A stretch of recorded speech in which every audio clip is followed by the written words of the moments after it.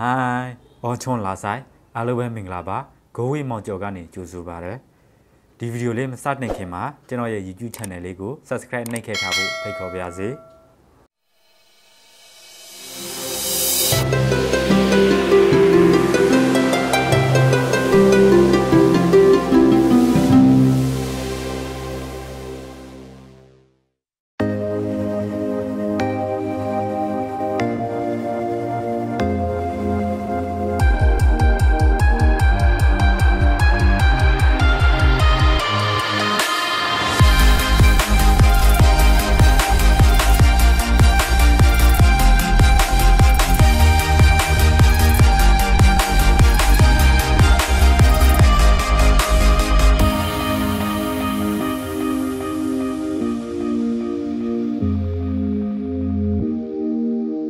အား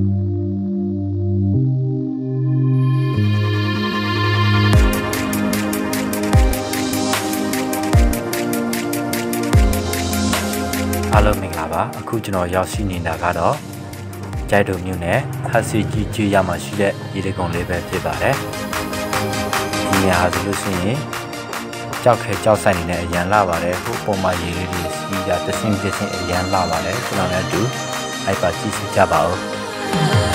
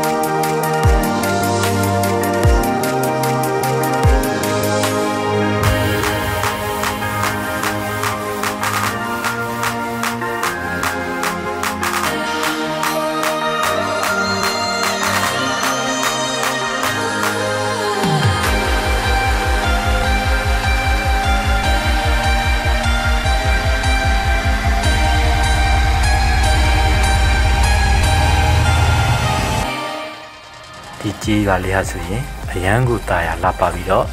သွားလေလို့ကောင်းတဲ့နေရာလေးပဲဖြစ်ပါတယ်ခွင့်ခါကြရင်သွားလေကြပါလို့ပြောချင်ပါတယ်ခင်ဗျာ